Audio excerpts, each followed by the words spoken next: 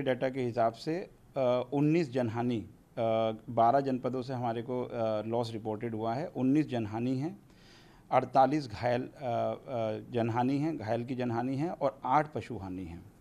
हम लोगों ने इन कलेक्टर्स से और एडीएम से बात कर ली है और उनको कहा गया है कि जल्दी से जल्दी ये असेसमेंट जितना आपने किया है, इसको जल्दी से जल्दी यथासंभव आज ही इसका कॉम्पनसेशन वितरण करें।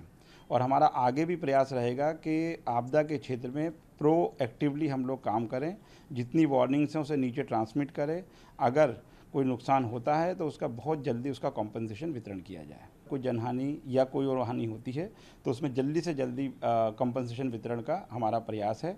इसके लिए हमारे पास धनराशि की कमी नहीं है। कलेक्टर्स को पैसा प्रोवाइड किया हुआ है। उसके अलावा जनपद राज्य मुख्यालय पर पैसा उपलब्ध है। अगर कहीं भी कोई लॉस होता है तो हम तुरंत उसका कॉम्पनसेशन वितरण करने के लिए पूरी तरीके से तैयार हैं।